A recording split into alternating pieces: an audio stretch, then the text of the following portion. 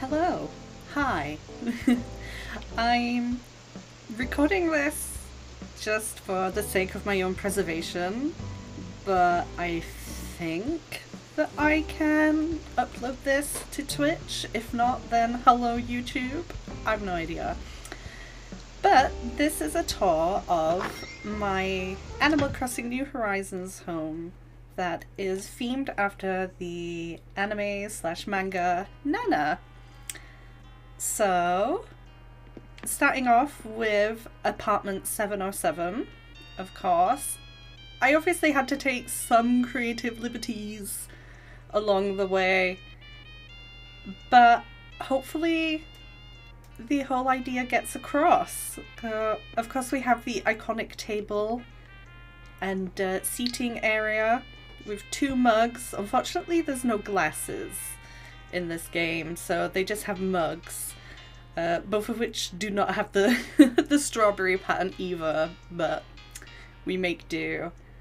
Uh, there's also the window area in the background with the Tanabata for uh, the summer festival episode. Over here we have the Blackstone's cake. And then of course the kitchen area. And the weirdly placed um, bathroom sink that is in the living room. so we'll go back here first, this hidden room which I was going to make the bathroom, but instead I kind of made it this homage to Nana and Ren's industrial apartment, adding the clawfoot bathtub and a rose mat. I think that symbolized them both really well. There's a lot of music related items in here. The furniture is kind of mismatched because that's just kind of how they were. They didn't really care to have expensive matching things. And of course, this suitcase because Ren is leaving, going to Tokyo. Uh, the two side rooms I kept uh, uh, like in line with the apartment 707 so this side is Nana's bedroom. I had to take a lot of creative liberties with this because her bedroom is just plain white with a bed in it. so I kind of just made things themed how you know with things that just reminded me of her so of course we've got KK Metal playing um, and this is kind of like how her room actually is just record boxes. and her guitar.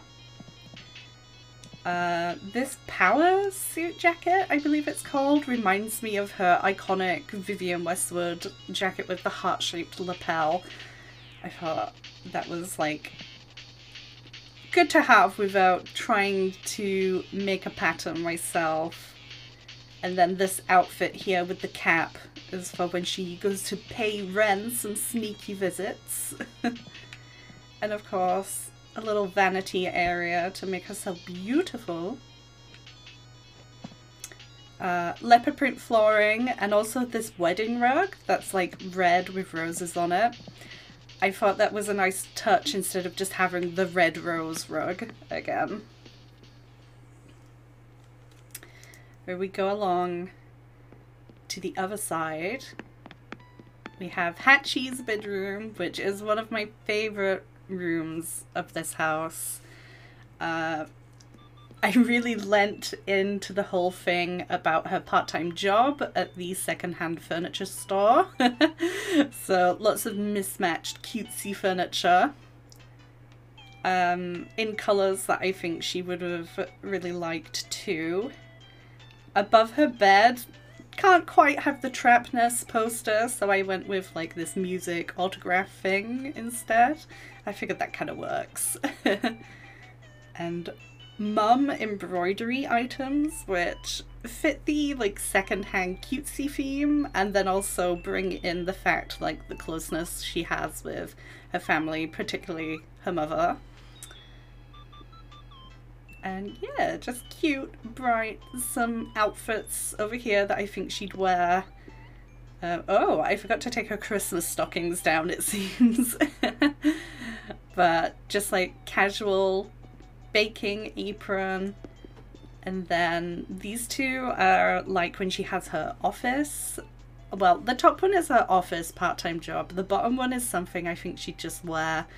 And then the suit, obviously, for her office job as well. Upstairs, we have a room that I had in this house before I made it entirely Nana themed. So this room is like the reason why this house exists the way it does.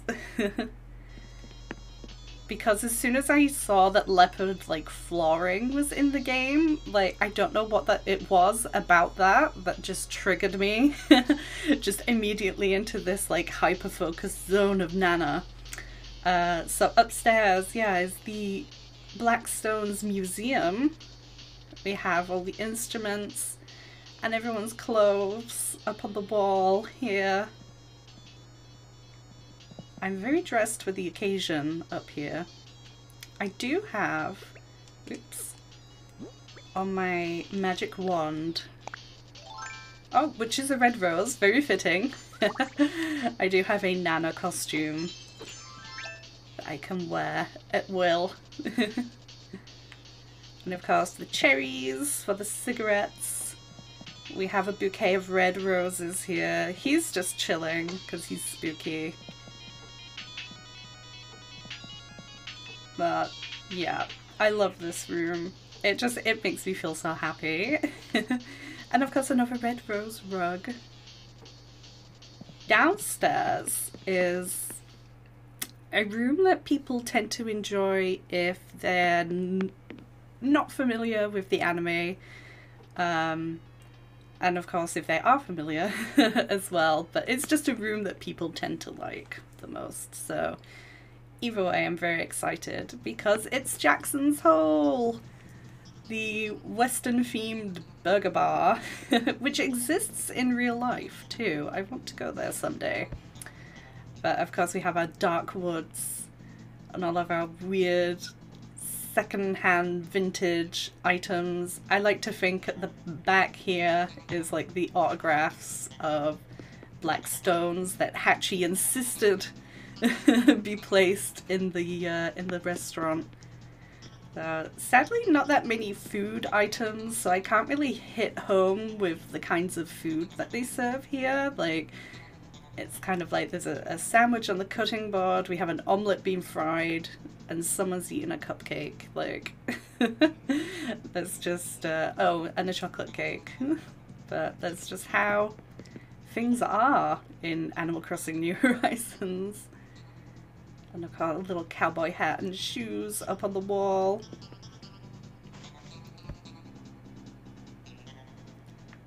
Lots of like crammed in just like clutter wherever I could, really, which I think fits the vibe of Jackson's Hole. And that's it. That's my Nana themed house. um, no plans to change it anytime soon, but I just wanted this little video as a record because I love it and I hope you do too. So if I post this, then cool, thanks for watching. and uh, I'll see you around online. Bye.